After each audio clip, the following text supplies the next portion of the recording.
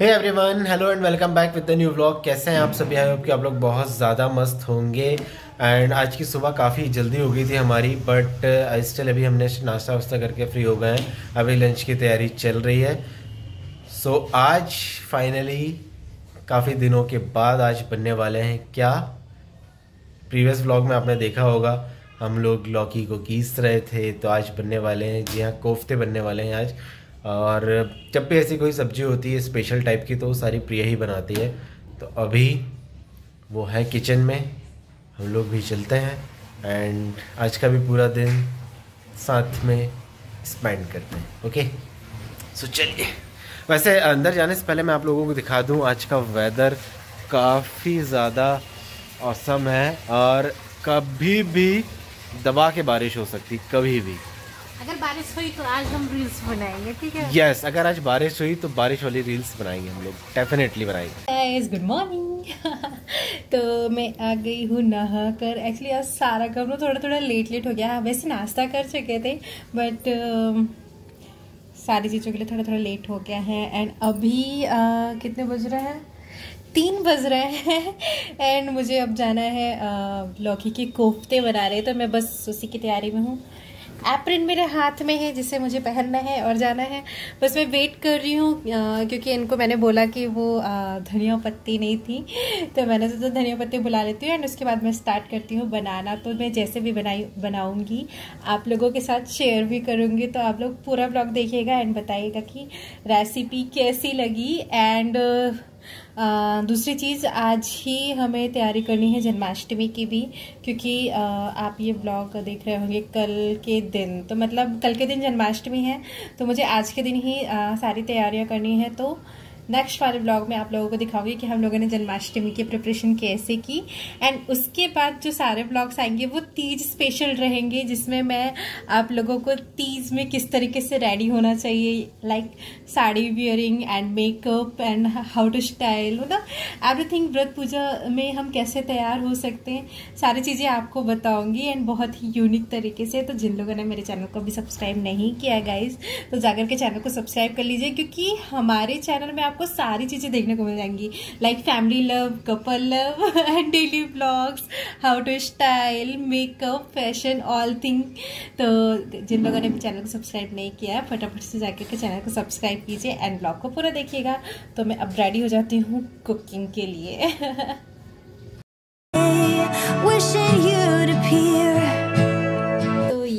Ready for the cooking and चलते kitchen में और मैं दिखाती हूँ कि अभी तक मैंने क्या क्या तैयारियाँ करके रख ली है तो चलते हैं किचन में। यहाँ पे सबसे पहले सब्ज़ी के लिए ऑयल निकाल के रखा है बड़ी कढ़ाई में एंड यहाँ छोटी लोहे की कढ़ाई में मैंने कोफ्ते फ्राई करने के लिए ऑयल रखे हुए हैं एंड यहाँ पे मैंने तीन चार प्याज रखी है कटिंग करके छील के आ, मसाले के लिए एंड यहाँ पे चॉप्ड करके रखी हुई हूँ कोफ्ते में डालने के लिए एंड धनिया पत्ती एंड लहसुन की कलियाँ नमक हींग थोड़ा सा गर्म मसाला है कोफ्ते में डालने के लिए एंड बाकी सारे मसाले रखे हुए हैं उसका कैसे यूज़ करूँगी मैं आगे बताऊँगी एंड यहाँ पे पोटली बनी हुई रखी है लौकी की कोफ्ते। जब मैं रात में जो कल आपने ब्लॉग देखा है उसमें आपने देखा होगा कि हम दोनों मिलके लौकी पीस रहे थे। तो उसमें दो लौकियाँ हैं। इसको इसलिए मैंने इस कॉटन की उसमें रखा है क्योंकि मुझे इसका पानी निकालना था तो मैंने इसका अच्छे से पानी निकाल दिया। अभी भी निकल ही रहा। बस जो बचा हुआ पानी है उसको भी हम हटा लेंगे दबा दबा के निकाल दे रहे हैं। एंड उसके बाद हम इस लौकी को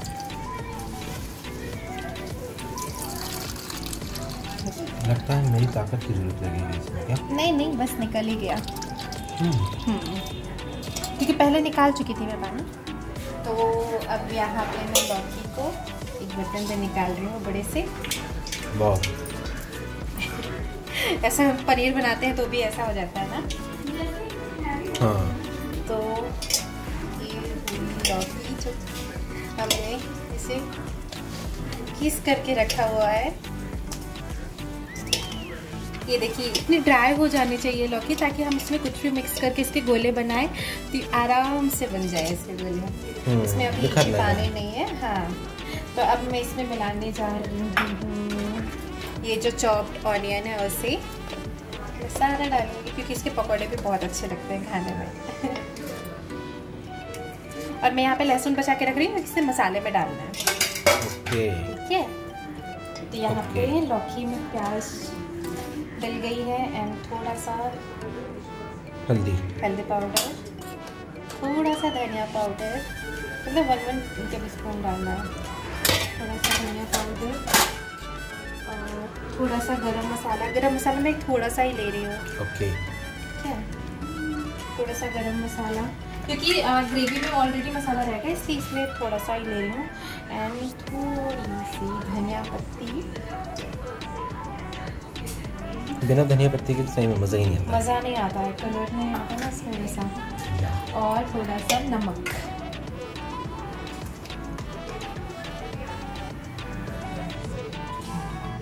नमक डालने के पहले हमें क्या करना है ऑयल को गर्म करने के लिए ना गैस चालू कर देना है। क्योंकि नमक डालने के बाद फिर हम तुरंत उसे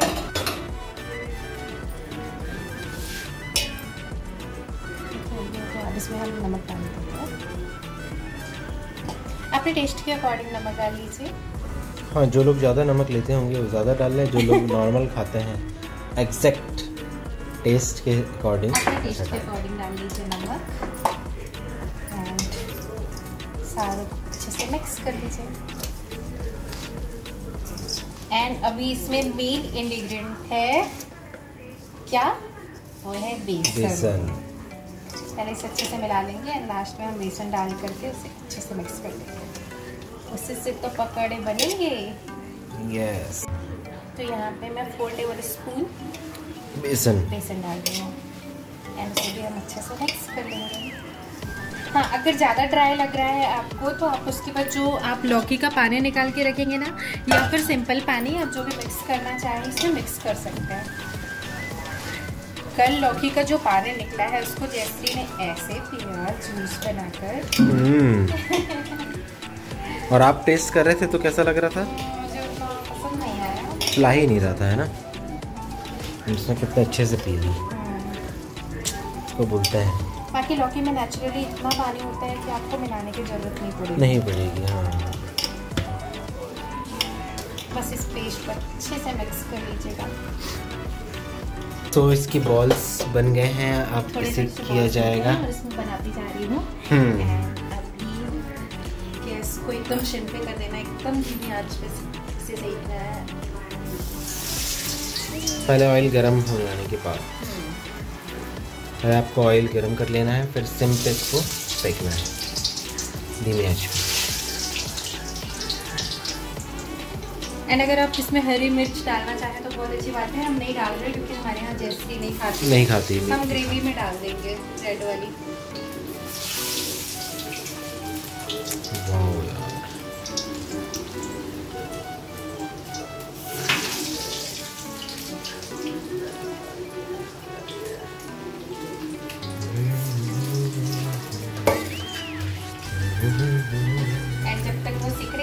आप और भी बॉल्स रेडी कर सकते हैं। अभी जब तक मैं मैंने इतने बॉल्स रेडी करके रखे हैं तब तक में ये फ्राई भी हो चुके हैं। ये देखिए। वाओ यार ये तो बहुत ही मस्त तरीके से फ्राई हुआ है। है ना? बिल्कुल ऐसा ही गोल्डन ब्राउन कलर आना चाहिए। एंड अगर हम इसे तेज करके सेकेंगे ना तो ये एकदम ब्राउन तो हो जाएगा बट अंदर कच्चा सा रह जाएगा। इसलिए धीमी आँच में सेकना चाहिए ताकि अंदर तक अच्छे से फ्राइड हो जाए। और ये सही तरीके से फ्राइड हो जाए उसका टेस्ट ही एक अलग हो जाता है। लजीज। निकाल के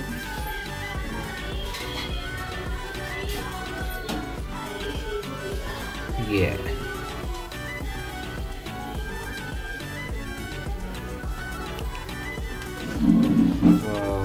बस आप इसे एक काम भी कर सकते हैं अगर बारिश हो रही है तो टमाटो सॉस रखिए हरी चटनी रखिए और उसके साथ शुरू हो जाइए। बहुत टेस्टी लगता है।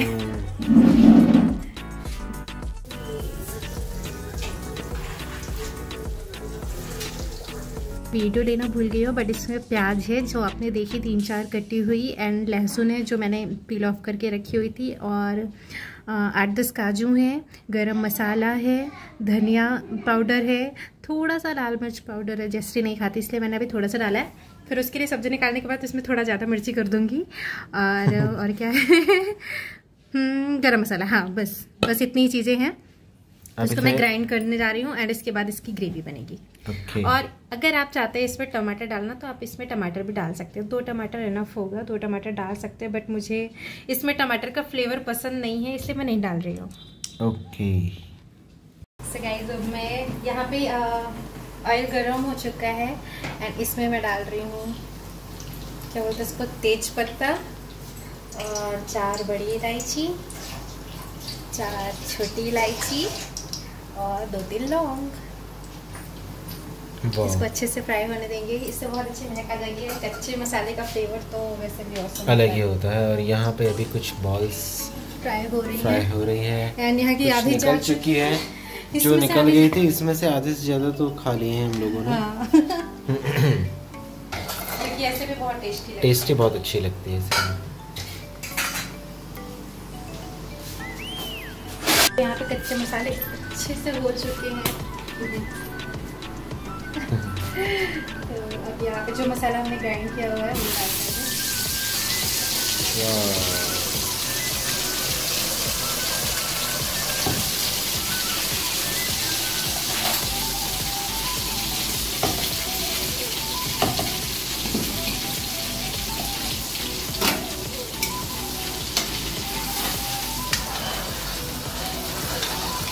अभी खुशबू ऐसी आ रही है यार। बनने के बाद तो मज़ा ही आ जाएगा।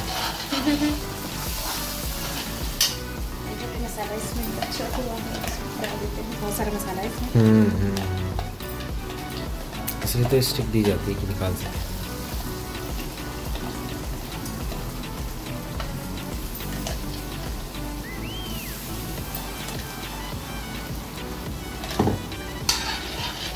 अभी भी है इसमें मसाला। हाँ, यहाँ देखिए तो कलर देखिए मसाले का। अभी धीरे धीरे थोड़ा सा और ये रेड जैसा होगा। तो और ज़्यादा टेस्टी हो जाएगा। लाल मिर्च डलेगी तो इसका कलर और भी अच्छा हो जाएगा। हम्म लाल मिर्च डलेगी कब? जब जैसरी के लिए निकल जाएगी सब्ज़ी।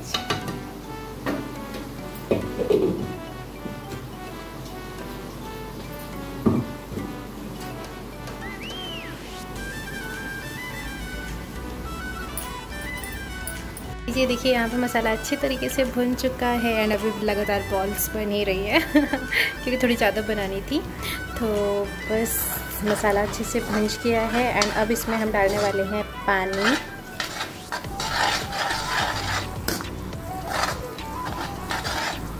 जब मसाला अच्छे तरीके से भुन जाता है ना तो इसको ऑयल अलग ही छूटने लगता है। ये देखिए, आपको दिख रहा होगा। जैसे ये नीचे जाएगा, ये देखिए। ऑयल अलग होने लगता है मसाले से, जब मसाला अच्छे से भून जाता है तो।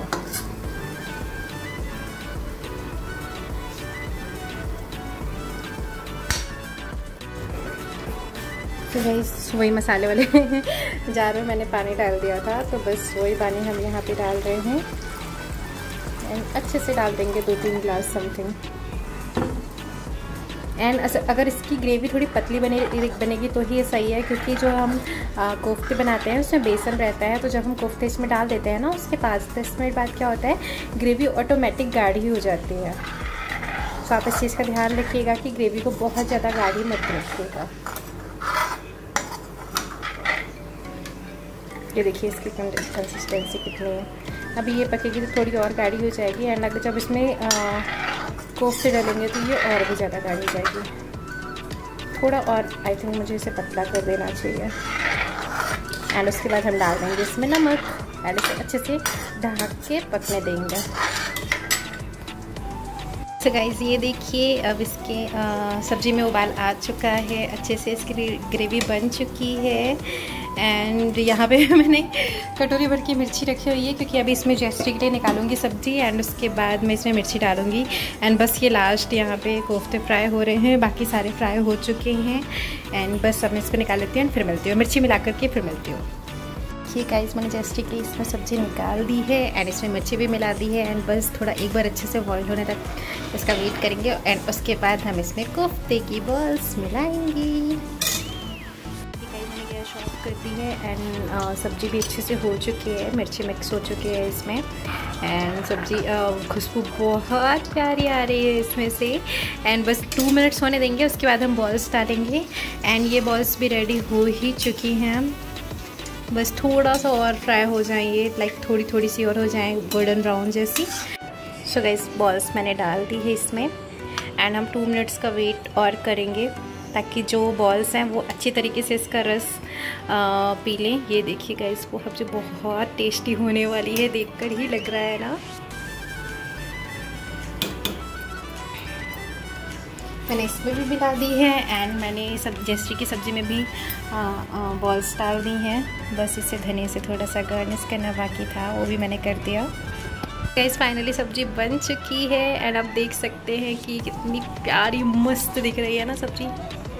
सो so गैस मैं इसका टेक्सचर आपको दिखा देती हूँ। सब्ज़ी बन चुकी है क्योंकि।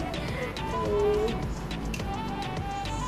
गैस ये देखिए सब्ज़ी एकदम बन चुकी है। एंड मैंने कहा था ना कि ग्रेवी थोड़ी गाढ़ी हो जाएगी तो ग्रेवी भी गाढ़ी हो चुकी है।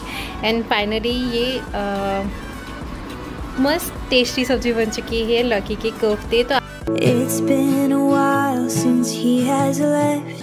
Had some time to self-reflect So now I'm writing this to you. तो फाइनली हो चुकी है हमारी सब्ज़ी तैयार।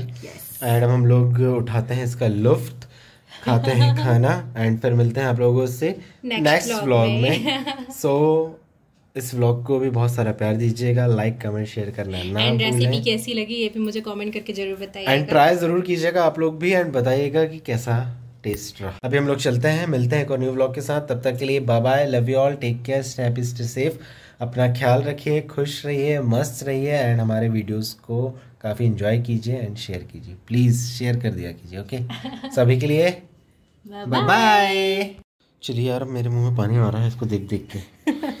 पता चला फ़ोटो वीडियो के चक्कर में यहीं इधर देख देख के ही पेट भर जाए। चलिए चलिए चलिए। तो देख देख कर ही पेट भर जाता और वैसे भी जब भी प्रिया कोई भी सब्ज़ी कुछ भी बनाती है अपने स्टाइल में, वो एकदम, तब फैंटेस्टिक टेस्ट होता है, उसका एकदम माइंड ब्लोइंग टेस्ट होता है मतलब खाने में मज़ा आ जाती है। सभी लोग बहुत पसंद करते हैं तो अभी जब वो सब्ज़ी बना रही थी, सबसे ज़्यादा मम्मी को मिस कर रही थी कि अभी मम्मी होती तो जैसे पनीर की सब्ज़ी बनाई थी तो अभी उनकी तबीयत ठीक नहीं थी तो उन्हें ज़्यादा मतलब बहुत सारी चीज़ें खाने का मन नहीं करता था। पर जिस दिन पनीर की सब्ज़ी बनी थी, उस दिन उन्होंने बहुत अच्छे से खाया था, उसका टेस्ट उन्हें बहुत अच्छा लगा था। तभी बनाते बनाते वो काफ़ी मिस कर रही थी कि मम्मी होती तो इससे भी बहुत अच्छे से खाती। So miss you mummy. And अभी हम लोग चलते हैं। पेट पूजा कर लें।